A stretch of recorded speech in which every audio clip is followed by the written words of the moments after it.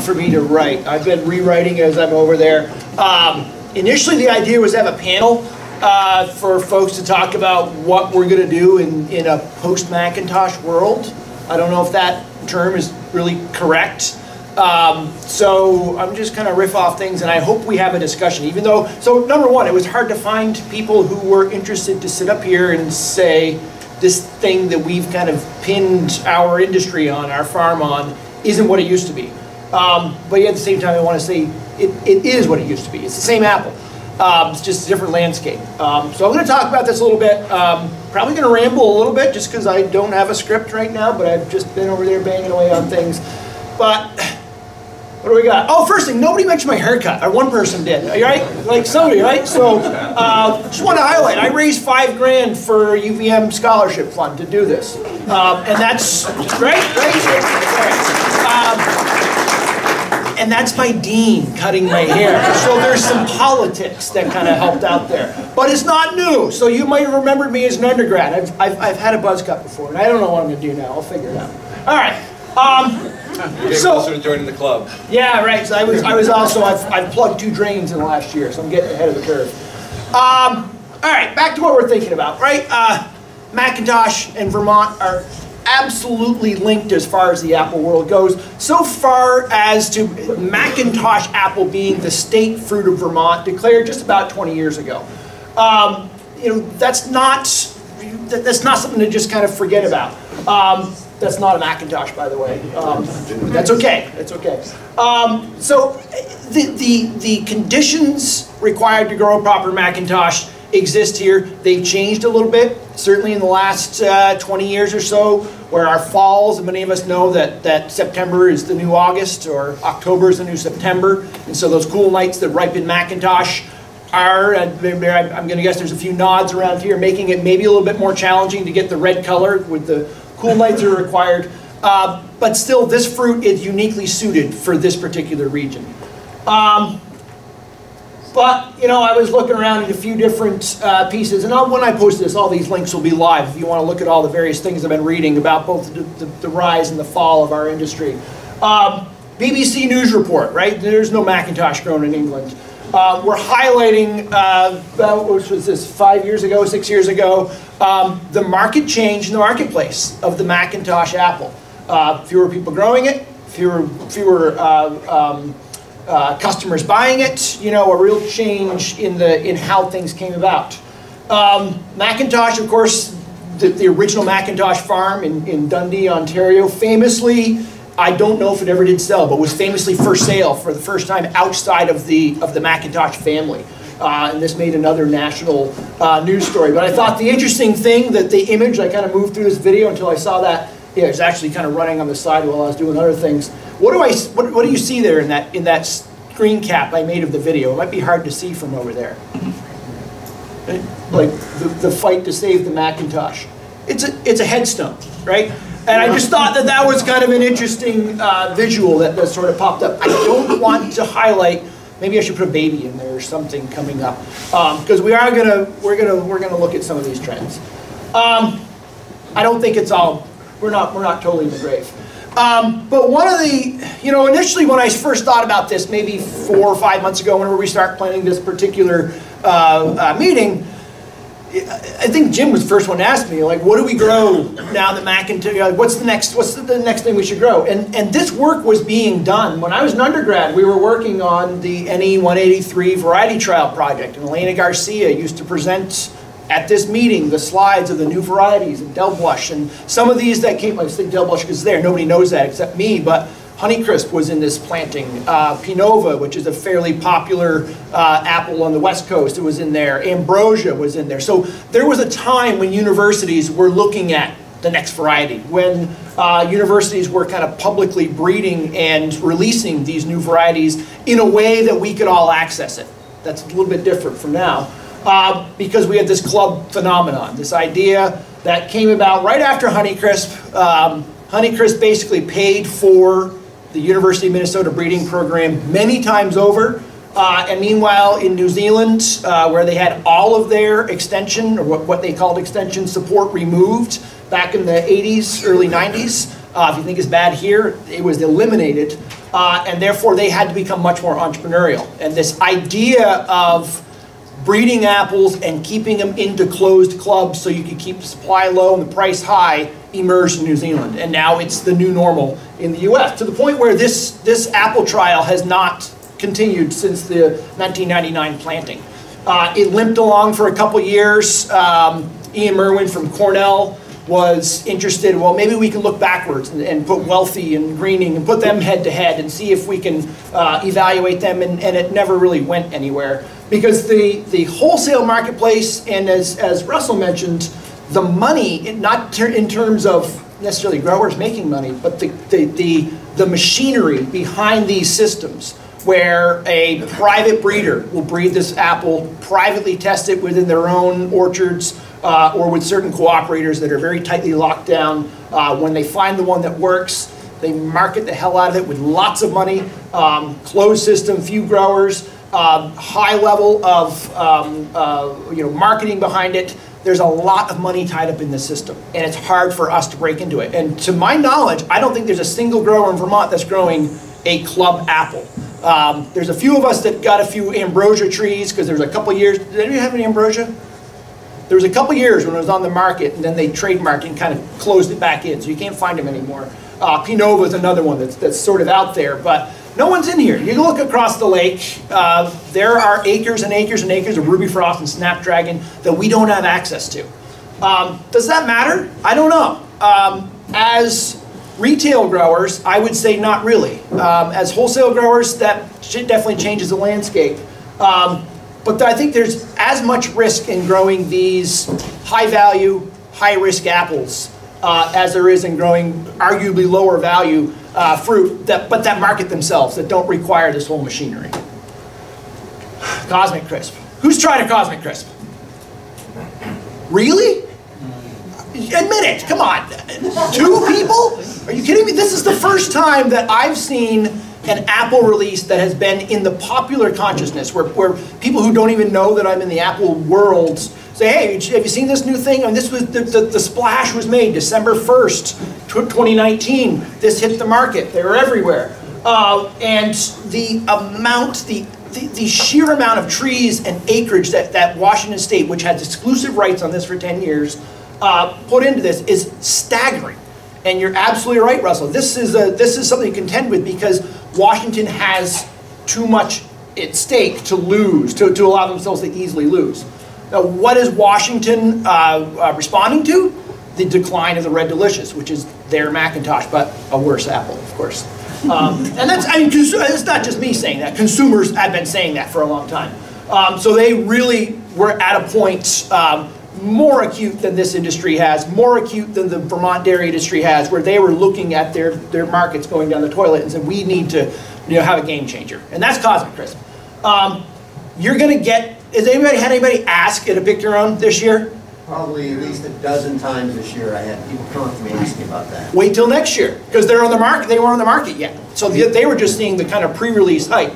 Um, so we're going to need to answer this. And so the answer is, well, no, but try Honeycrisp, try Wealthy, try whatever. But steer people to, to uh, you know, to, to, the local fruit and, and highlight the flavor. I think that's an important thing because it's a good apple. It's not a great apple. Um, there's not many great apples, frankly. Apples are, there's we eat lots of apples. And, and I don't know, I eat hundreds a year. Uh, none of the angels don't come from the sky every time I eat one. And that's almost what you need for a $4 apple. Uh, of course, once you get hype, you get anti-hype. So, you know, a uh, Cosmic Crisp apple is not the future. There was a taste panel in Salon uh, magazine that uh, this was a blind taste panel, a bunch of New York journalists, uh, and uh, they declared, you want to guess what their number one apple was on, on their taste panel? What was it? No, no. Honeycrisp. No, Honeycrisp was kind of middling. Interesting. McIntosh wasn't even in the Right, it was like five or six apples they tried. Gala? No, nah, Gala was in there, and they said, you know what, Gala wasn't bad. They, it, they, they compared it favorably with a well-grown Gala. Um, so they wanted sweet. No, it was Pink Lady, which of course we can't grow here. Um, so it was, you know, here's an apple which is also a club apple, trademarked club apple. Um, that is kind of, I think, sort of passe, right? It's 20 years old. There's, there's, so the, the, my point here is the, the gazillion dollar hype doesn't make an apple better, right? There's a good apple that was out there and people taste it and say, yeah, it's still a good apple. All right. I took this shot in the grocery store in uh, Montpelier, in Shaw's. Uh, well, it was after Cosmic Crisp was out, so it would have been after December 1st, right? Mid-December or so. What are we looking at? Three bucks a pound for, uh, what the heck are those? I can't read. Sweet, those are sweet tangos. These honeybees, anybody seen these honeybee apples? There's also kiku apples. Um, and they, there's just so many, and then of course Cosmic Crisp. Three, four bucks a pound, right? What are we getting? Like we're just stuck in the corner, and these are galas. They didn't even have Max on the on the counter, but uh, that is huge. Like that is kicking our ass um, from a wholesale standpoint. Uh, no, I won't even say that. From a grocery store retail standpoint, I'll say because how many, how much volume of these four dollar uh, apples are, are going to move? Cosmic Crisp, I think, is around because it's you know it, it it has that power behind it. But this honeybee, I don't know. I mean, it's a handful of growers in Minnesota uh, who are promoting it, and I suspect that it's going to be like a jazz. When's the last time someone ate a jazz? Right? That was a hot one about eight years ago. It was a $3 apple. It's already falling by the wayside. To where, uh, you know, the industry is saying, we've got too many of these things. Like the, con the consumer's only going to eat, it, hopefully, an apple a day.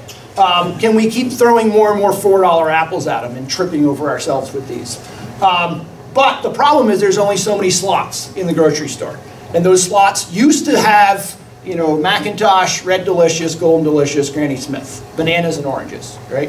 um, and now we've got, you know, produce sections that are the size that the store used to be. Uh, but we've got star fruit and we've got kiwis and we've got those little uh, kumquat things and, and uh, the, the um, what are the, I'm thinking of the little oranges that, that my kid eats. Angela. But there's a name for it. There's Cuties. cuties. That's what I was looking for, right? Uh, and so the industry, from the packing side, is often saying, you know what, these standbys are taking up space for higher retail varieties, right? That $4 apple, grocery store is making arguably more money off that $4 apple. So there's some concern. Yeah, these things are just churning out. Uh, um, you know, like I say, jazz has already been knocked aside.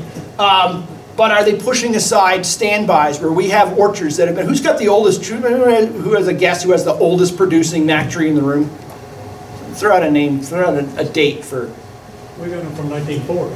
1940. And we got it older than 1940, older than 80 years old, right? How many jazz trees are going to be in the ground in 80 years of the same tree, right? We'll talk about that in a second.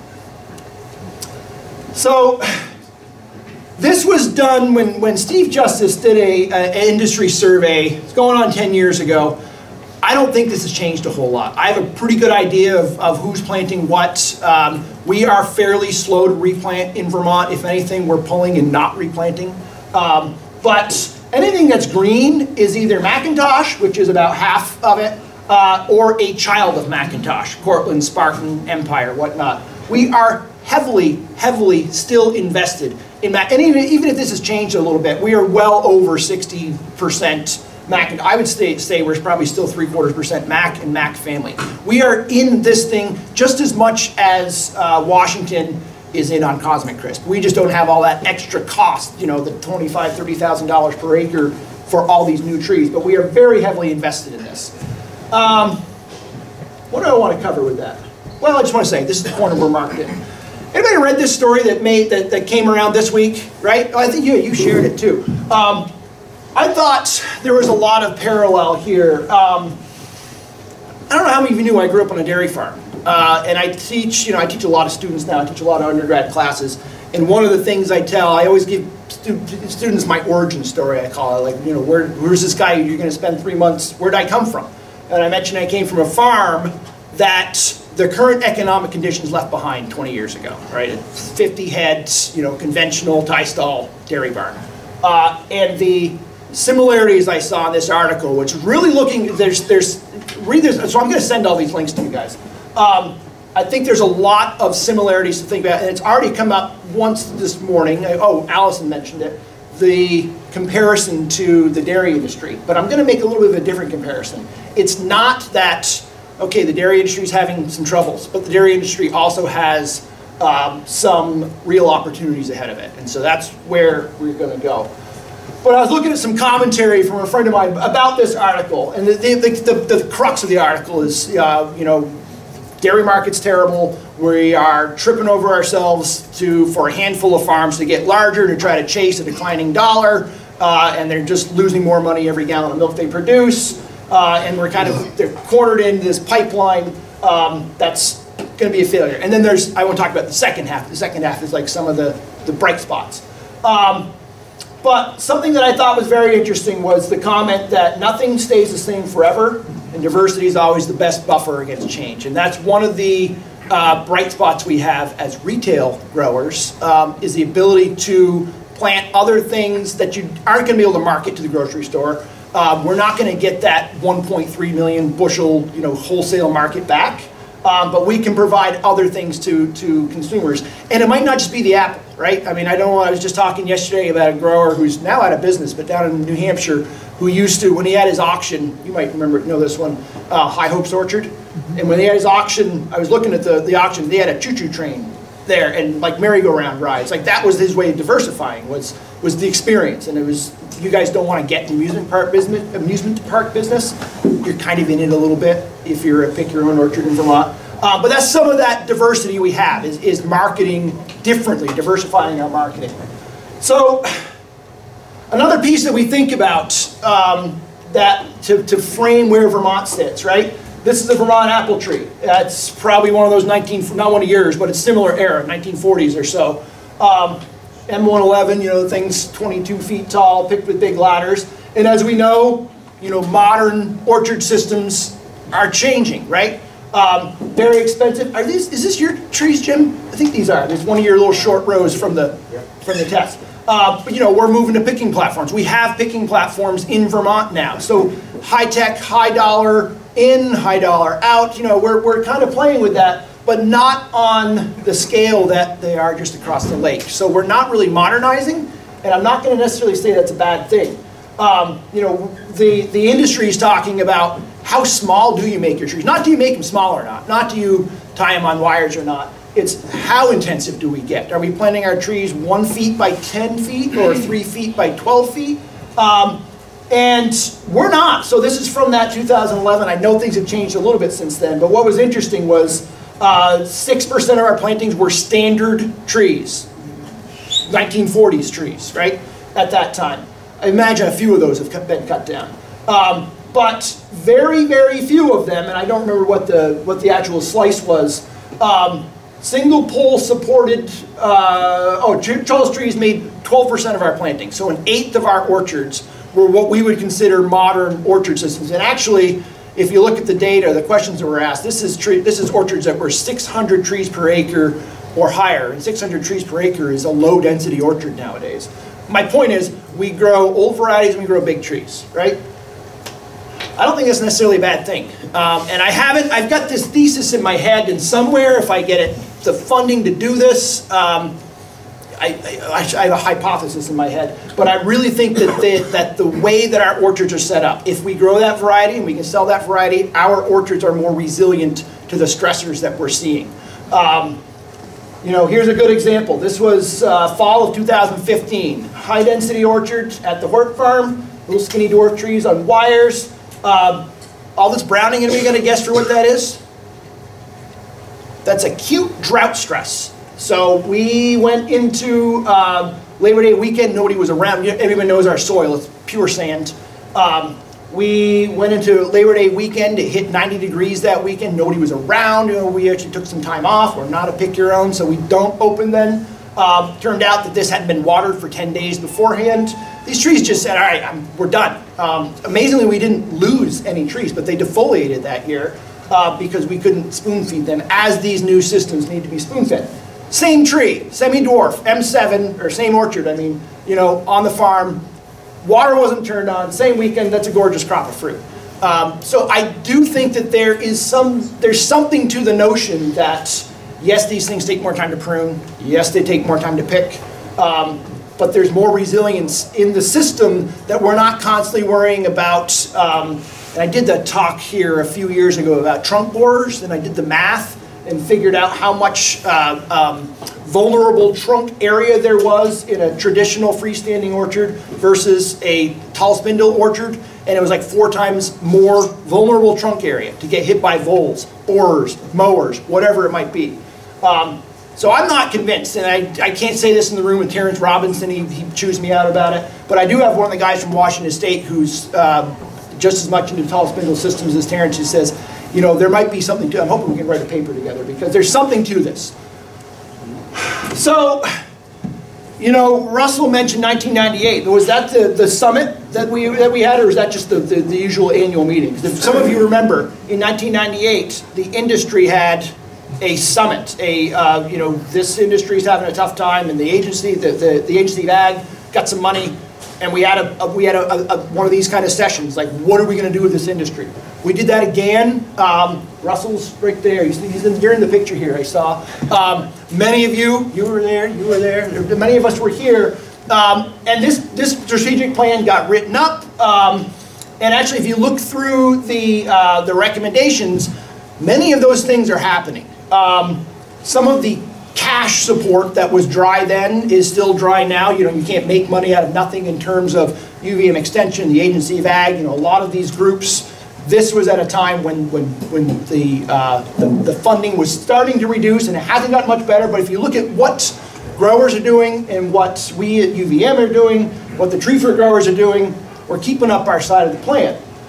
Um, so fast forward to this recent plan, and I just double checked. I thought I sent this to you folks in the email list. I haven't, so I'm going to send this before the end of the day. The Farm to Plate uh, project, and Eric, I'm going to give you a plug in a second. Um, the Farm to Plate uh, project was um, funded by the legislature 10 years ago-ish, right? That, I'm going to ask you for the question, Erica. Sure. Sure. Well, you were executive. No, you were. No, what was your role? Your title? Uh, I was the Farm to Plate director, but it was, um, tw- 2009 was the legislation. That's what it was. Plan came out. Okay, I'm going to introduce you in a second. You, you show up here in, in a minute. I just wanted to check my date. Um, the, so the Farm to Plate strategic plan was a um, specific act of the legislature to uh, basically have some direction about how we uh, support agriculture in Vermont. And so there was a first draft, which was very visionary, and now we just barely had the first of a two-part uh, section come out. Um, that's kind of like a snapshot of where have we gone, right? Um, there, I just did a control F on the plan. Apples the, specifically show up 30 times in that in that plan. Um, so there, we are on uh, the radar of, of you know the support system. So here's a shot. I don't expect you to be able to see that from there, but this is a shot. I wrote this. The uh, Vermont Tree Fruit Growers Board uh, are contributing authors. Our names are, are on that. We were, we were required to sign off and say we agree with this is our statement. Um, and what I wanted to highlight. So we had to give a few graphs, and this is one key piece, uh, some data pieces. We got half the orchard acreage that we had in 1997. We got half the orchard production that we had in 1962. Um, that's real. That, that's real data, and that's that's something that uh, I wanted to highlight. But our prices are you know two to three times higher. Now, one of the things about this is um, these are individually reported prices. So if you're a pick your own grower and you're getting 30, the equivalent of 30 bucks a bushel, then you've got 10 of them that report. They might produce all told between them, let's say 100,000 bushels between all 10 growers. You might have one 100,000 bushel grower who's getting who's, I don't know if, any- I I won't make anybody say how bad the prices are right now, who's getting 16 bucks. Um, and those other nine would outweigh it. So this, this data is a little bit skewed, but the key point is, um, prices are going up, particularly at the retail level. So, you know, are they, are they playing out, uh, are they evening out? Not uh, as far as, do I mention this in here? The, uh, so these are my words, your words as well, because you guys, some of you signed this. Um, the local sales are not replacing all that wholesale uh, that, that we're losing. Um, and I don't expect they're going to. But um, we are seeing um, substantial increase across the state and a steady increase in retail orchard. Um, I did, so when I first set this out, there was one grower in particular who was like, you know, tell it like it is. Like you really need to like highlight that, that for the wholesale market, things are really tough. Um, so I kind of strengthened the language a little bit, and, and that actually, uh, what do I want to say? That got some attention. So I've seen some press, some post press about that, and the apples often are getting highlighted um, as a piece of this larger 100 200, 200, 200 page document. Um, apples are one of the ones that are being highlighted even before dairy. Uh, say something nice, right? So we do highlight uh, some of the opportunities, particularly around retail, uh, direct store delivery, you know, that, that more human side of the market. Um, putting the apples on a truck, we will always have growers, I hope, in Vermont that are going to put apples on a truck and send them down the road and get a check. Um, and, but that's not where we're going to specialize. Just like that's the market where we're seeing like our milk uh, decreasing. Um, so that's tricky. But there are increases in uh, activity. I look at UVM. UVM is buying 100% Vermont apples for 10 plus years now. Uh, and that's a huge buyer. There are other institutional buyers that are and, the, and the farm to plate network and the farm to plate uh, initiative is helping to kind of put those people together to ensure that uh, at least the bellies that we feed in Vermont are getting fed with Vermont produce. Um, so there is a real um, movement in that uh, regard. I'll let you read this, it's really small, but we did give some very specific recommendations. Some of them say, you know, will require funding, which may require either federal money, state money, legislative approval. So this is, you know, big asks. Uh, and um, I don't know, we'll, we'll see what comes from that. These, this report goes to the legislate, the Vermont legislature, uh, and then they're, they're probably gonna make some, some moves on it. We're gonna jump off of that for a minute because we do have people that are in our corner, even though it may not seem it.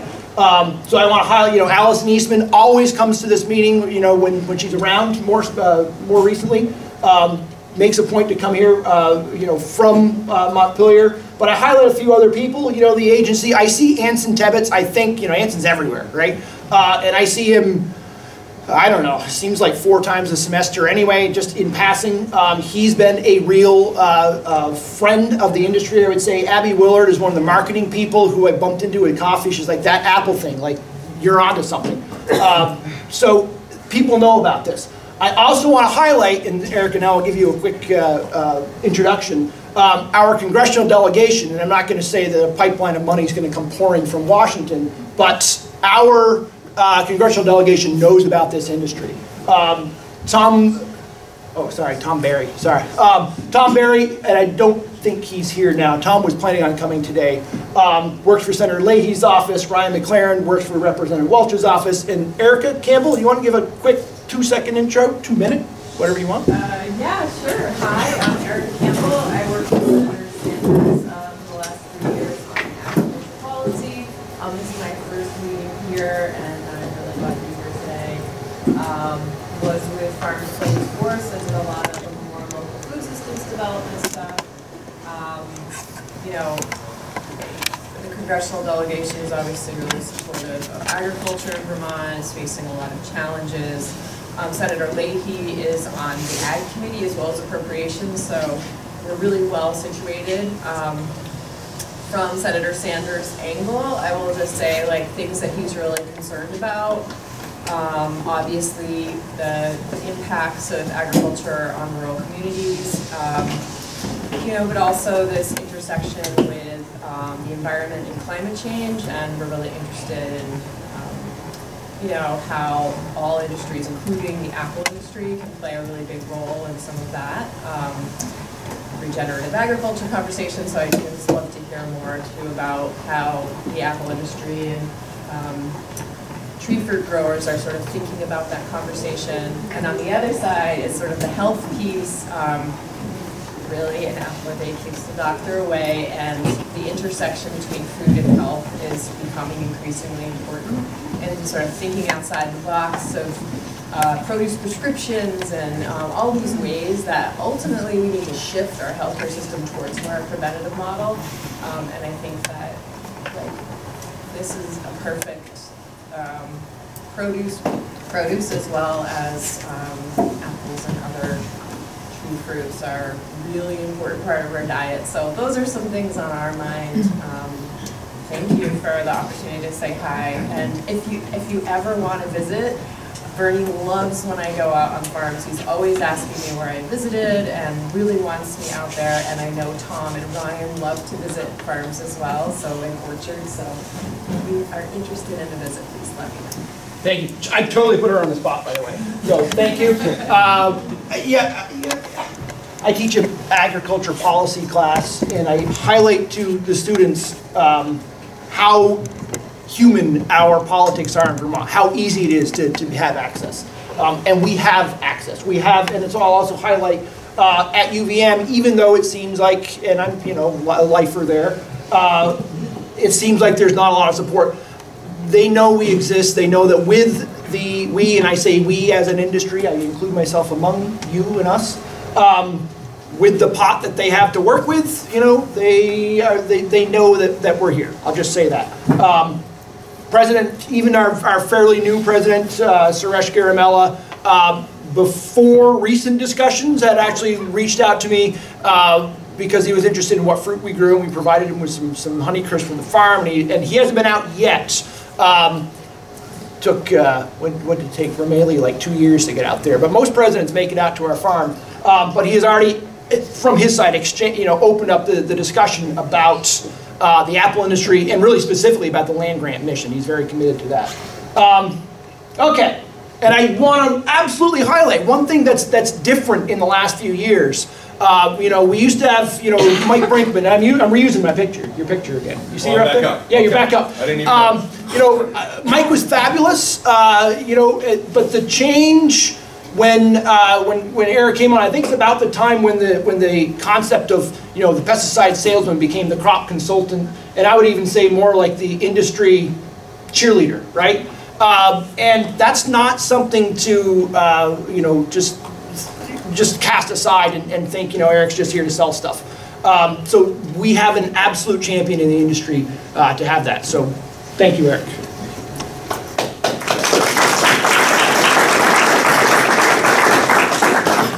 Boy, I wish my pictures were sharper here, but that's okay. Um, you know, I wanted to highlight, we've already mentioned some of the new faces here. Um, this is an orchard, you can't tell here. Fabulous sunrise. This is very near my house. This is, uh, um, oh, you know, I was just gonna say Greg, but it's not Greg's. It's Dan Maier's orchard, Peck Farm in East Montpelier. Um, brand new, well, brand new, now it's five, six, seven years old. Um, but in the orchard world, that's, you know, a baby. We have a number of orchards. How many orchards are less than 10 years old? You're, okay, okay. How many are less than 15? Now 15 is starting to get there. Okay, so that's maybe 20% of the room. Um, that's something if we'd asked them a while ago, you know, it was rare to start. And, and I'll count you as new. You're a new, you're a new farmer, right? So um, we have new faces. We've been trying to reach out to new faces, and we're seeing, um, you know, an increase in in retail sales from these folks. Um, right down. Sorry, Jessica. Um, this is what two days ago. This came out. Um, yesterday. Okay. See, I, I keep up on things. That's going to be a good shot. Uh, seven days did a little photo essay on farming in the winter, um, and this was the one that hit their the, the, the homepage at least, the, uh, which was a great shot of Jessica pruning uh, a tree. So the industry knows, the people know, the, the journalists know that we're out there. Um, so that's not a piece of goodwill to, to, to throw away. I'm going to touch a second on cider and then kind of jump on to other things. You know, there was a time when I came in here as, you know, new faculty, which was still old Terry, you know, in 2014, like this is a wave we're all going to ride and we're all going to plant these cider trees and we make all this money. Uh, and then turns out uh, it didn't happen, right? It sort of did, but it sort of didn't, and we don't know where things are at. But 2019, you know, we're seeing certain brands, particularly national cider brands, having some real challenges. I mean, this is the, the dairy market or the MAC market of, of cider. But regional cider brands are still showing um, single to double digit growth, right, Ben? Um, and these are the people who are buying our fruit. They're not buying, they're buying some fruit at, at what I would say would be packing house, you know, dessert fruit prices, a certain amount of that. Um, and I think there's going to be some changes in the in the year coming up where there may be some buyers looking for other fruit. So keep your your, your ears out there. Um, but this is an area that we shouldn't ignore, um, and and certainly we're not ignoring. You've already seen me talk about some of the work we're we're going to be doing. This is a slow and steady growth, and now cider is a primary part of the apple industry. Uh, look at that, copy it over. Um, another thing I wanted to highlight, so I looked at the 2018 Packer Fresh Trend Survey. So this is a survey of consumers nationwide from the Packer. You can imagine what they are. They're wholesale, oriented to the wholesale produce market. Um, and they highlighted the Northeast had consumers at the highest likelihood to purchase apples. Uh, McIntosh, which they spelled wrong, uh, was still up in the top 10-ish, but still declining, but it still was up there. These new guys were in that, you know, 1% or less, because they're all fighting it out. They're all fighting it out for that maybe 10% market share that a $4 apple is going to get, $4 a pound apple is going to get. Um, so let them fight it, right? If we just keep our nose to the ground, we pay attention to new varieties that we can grow, um, but we, we grow a high quality fruit and we market it, I think we can do all right. Um, all right, last thing I wanted to highlight. So um, the dig in already came up, and I just was going to highlight their orchard listing. This was their homepage uh, 15 minutes ago, right at top and center. Um, so we do have people in the States who know we exist, who are marketing us. We're a very visual group. You know, we're a good-looking group to make slides from. Uh, so it's an easy thing to to market. Um, uh, Russell, I just took this shot to also highlight uh, your website. Um, this was a great blog piece that was written that, that really I think you summed it up. You know, there's a there's a standard that New Englanders have that they know about McIntosh. Um, they recognize McIntosh, and as long as we provide a quality Mac, there's still going to be a market for it. I think that's all I was going to say, and that leaves us with a couple minutes to discuss. Maybe we can do it over lunch. Yeah, Russell. I have a question for you, but before I say that, just to your, one of your last points, I think as humans, we're hardwired to grow food, no matter how challenging it is. And when I started this in 1996, there was a lot of talk about the aging farmer, and I don't hear as much of that anymore. And I see all of these fabulous entrepreneurial models. I think that people are always going to find a way to do this and do it successfully, even though it's going to have to change. But my question for you, when those 10 or 12 customers asked for Cosmic Crisp, what did you say? I told them it's not Honeycrisp. You're being lied to. And I would actually would go into about a little bit about the politics of the Club Apple and how that came about because of Honeycrisp and kind of having heard Terry spiel for a couple of years now.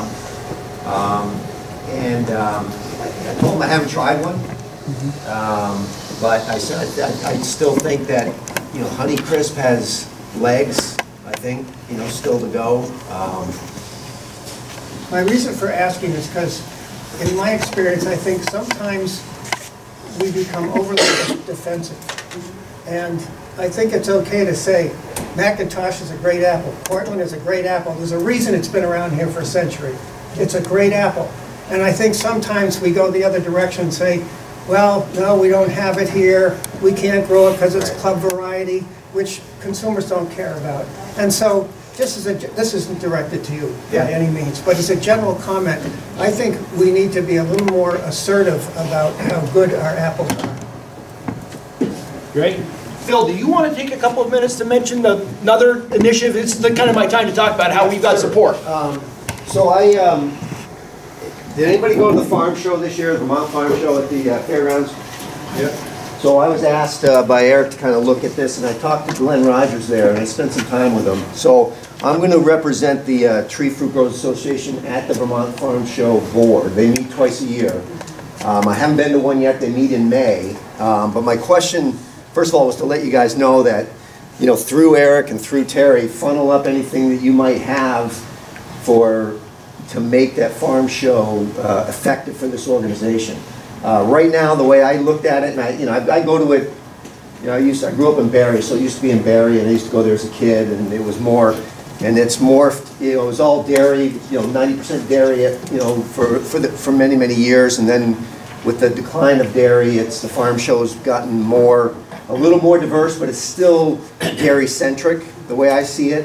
Um, There's certainly room in there, you know, we have no representation there at this point for, you know, there's, you know, I went there to even see if there was, you know, last year I was there and there was a guy, there was people selling drainage, uh, you know, options and fencing. This year, no drainage and one person for fencing. Um, You know, they used to have, uh, I know there used to be more um, trade there that represented our organization with uh, pruning and and different equipment, but um, you don't even see that there. Um, You know, they don't, I, I think that's a, it's a, it's, the farm show is, it's, it's kind of muddling along. It's not, um, there's no great, there's not great crowds there. They have a steady crowd, um, if you could call it a crowd. It's, um, there's some available, booths available, you know, they still have some space available to sell. Uh, the booths are pretty inexpensive, they're 360 bucks for a booth space. Um, But I guess what I'm saying is, is what I want to hear from this organization before I go, you know, as I represented at the board, is, you know, what do we want? Do we want to participate more? Um, I think there's an opening there because of the fact that they're still, they're, they're in an identity crisis a little bit, as far as the way I saw it, from what I just, my, my quick observation is, is what, um, I, I think there's an opportunity there for this organization to become, you know, to get some type of a footprint there, and then maybe, you know, uh, get the, um, uh, farm show to maybe increase their foot traffic. They don't even know right now, because I asked the question, I said, how many people do you get here? They have no clue. They don't count. They don't count numbers walking through the door. Um, So I, I would say it's in several thousand, but I don't know how many thousands. Uh, People come there over the three days. Um, But I guess the way I look at it, without having put a lot of an- analysis into it at this point, is there's an opportunity, I think. If we as an organization wanted to create some energy, uh, promote our, promote our, uh, you know, our craft and, um, and it's either that or it just continues to muddle along and, and, um, you know, something, it's a free entry to the event, um, and I, I see, I see a need there for, for it to morph into something more than it is, because it's kind of flatlining, the way I, I think. Um, So, if you've got ideas and you wanna, you know, put some energy into it, um, funnel it up through these guys, and they'll get it to me, and, and um, I don't have any, necessarily any great ideas, other than I, I think there's an opportunity there um, to increase overall. I mean, I've seen this room over the 20 years I've been involved in this, I've seen this room change. Um, And, and, uh, you know, and I think that the farm show needs to kind of change with, with uh, what Vermont farming is all about nowadays, and it's not all, obviously all dairy. Good, thank you. So, Phil Murdoch, uh, Chapin Orchard, should highlight that. Uh, Farm Show is put on by the Vermont Agency of Agriculture, so it's intended to represent all of Vermont agriculture. And tree fruit growers have not ever, that to my knowledge, had a, a presence there. It's very consumer and public oriented. Um, say, it's free, people come in, and it's in January, there's no reason for us not to show up, right? There's nothing else we're doing, it's like, right, okay? Um, okay, Vendor, okay, so I'm gonna pause with that, we can talk over lunch, I think I'm, am I done this afternoon? Oh, we're doing something this afternoon, okay, so you're from me later this afternoon, um, but there's a very important piece that we've neglected for years. Years and years. Eric has brought it back, so thank you, let's I- keep this discussion going. I always try to go to